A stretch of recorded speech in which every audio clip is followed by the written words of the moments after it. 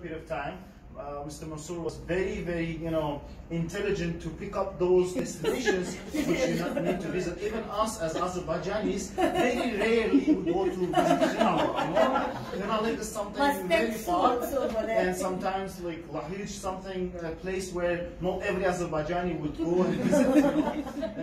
Sheki. So these are, these destinations are really very good historically. Yes. There are many, many uh, places to visit in terms of the destination.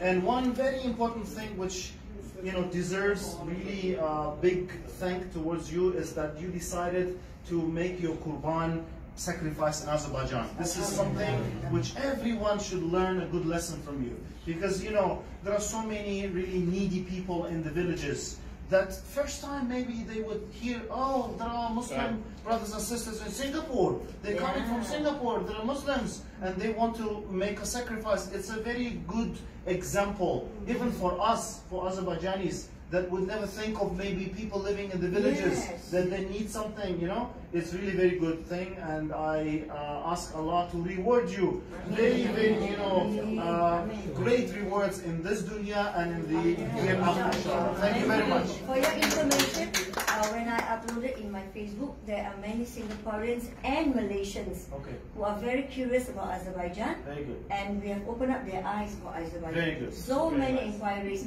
Uh, Mr. Mansour and Sue is going to be very busy after this. I tell them, I push every all the inquiries to them. Thank you very much. Yeah. It was nice again meeting you, and God bless you, inshallah.